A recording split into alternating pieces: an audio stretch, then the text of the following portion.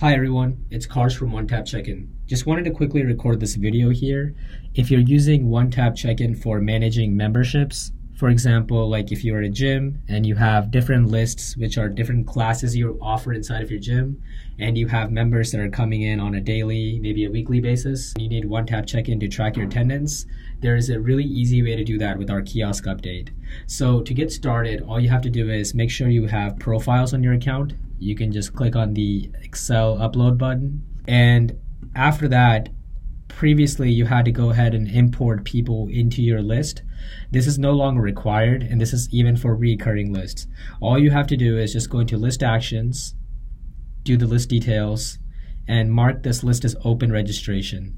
And also make sure the list is upcoming, which means anything that is either today, uh, when the check-in's about to happen, or in the future. hit save here and you can do this for all of your lists. And if you have a recurring list, our system will automatically do this for you for the children lists that get created. Now let's go over to the iPad and see what happens.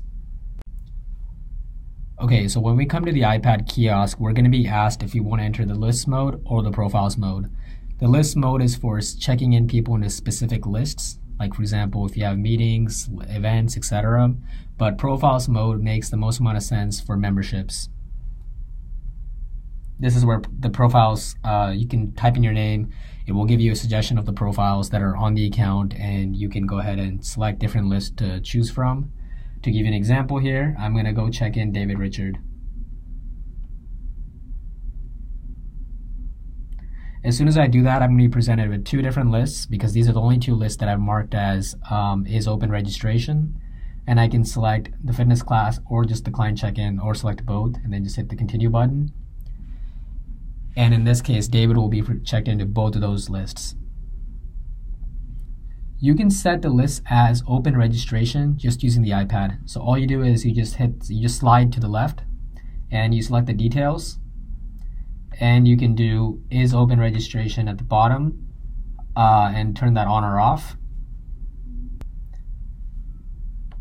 You can change the date here as well, the date that the um, list is meant for. And another cool thing that you can do here is type in the notes for this list.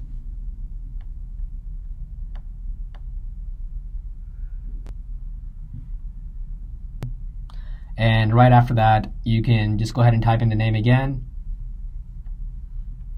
You will see your notes appear right here below the name of the list.